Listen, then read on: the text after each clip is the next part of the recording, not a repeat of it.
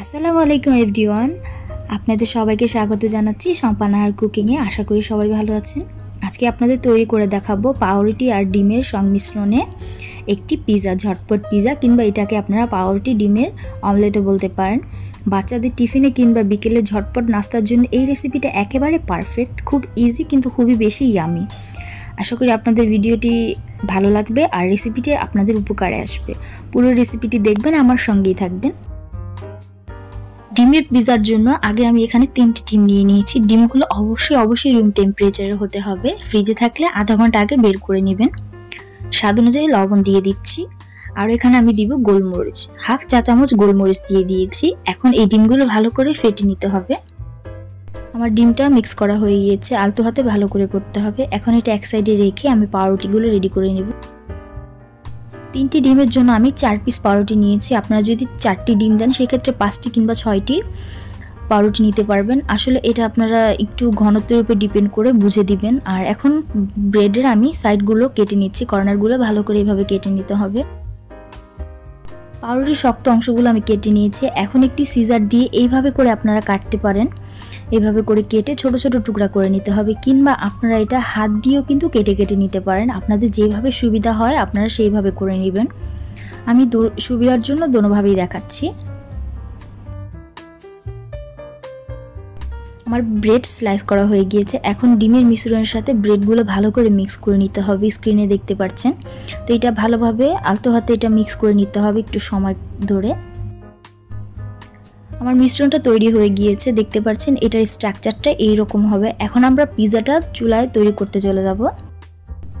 চুলায় আমি একটি প্যান বসিয়ে দিয়েছি। এখন এখানে আমি এক টেবিল চামচ পরিমাণ বাটার দিয়ে দিয়েছি। আপনারা তেল দিলে হবে। এখন বাটারটা মেল্ট করে নিচ্ছি।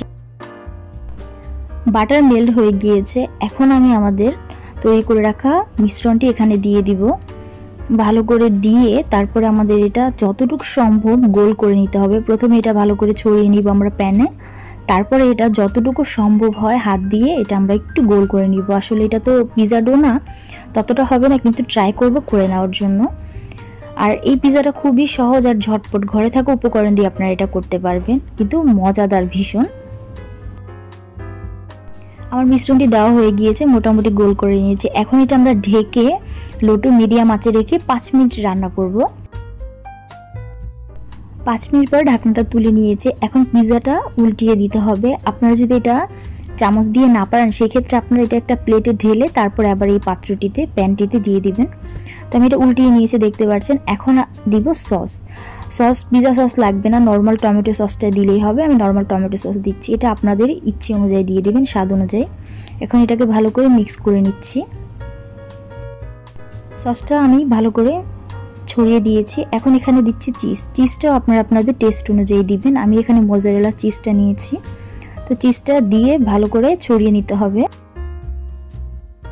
চিজ দেওয়ার পর এখন এখানে আমি দিচ্ছি সবজি। আমি এখানে নিয়েছি ক্যাপসিকাম রেড এবং গ্রিন ক্যাপসিকাম আপনারা চাইলে এটা শুধু টমেটো দিয়ে করতে পারেন, লাল টমেটো দিয়ে আপনারা এটা করে নিতে পারেন। এটা আপনাদের স্বাদ অনুযায়ী দিবেন। এখন দিয়ে আমি এভাবে সাজিয়ে নিচ্ছি, দেখতে পাচ্ছেন আপনারা এরকম করে করতে পারেন কিংবা আরেকটু এলোমেলো করে করতে পারেন। এটা আপনার উপর ডিপেন্ড করে ডেকোরেশনটা আর আপনারা চাইলে এখানে অলিভ দিতে পারেন অলিভ দিয়ে সাজিয়ে নিতে পারেন। পিজার জন্য অনেকে ভয় পায় যে বাসায় সব কিছু না থাকলে করা যাবে না। আসলে সেরকম কিছুই না। অল্প উপকরণ দিয়েও পিজা করা যায়, কিন্তু রেসিপিটা একটু ফলো করতে হবে। এটা ভালো করে আমি সাজিয়ে নিচ্ছি। আর হ্যাঁ ও আরেকটি কথা, আপনারা যদি কাঁচা সবজি না খেতে পারেন পিজাতে সেই ক্ষেত্রে আপনারা সবজিগুলো আগে একটু সয়াবিন তেলে একটু হালকা ভেজে সতে করে নিতে পারেন।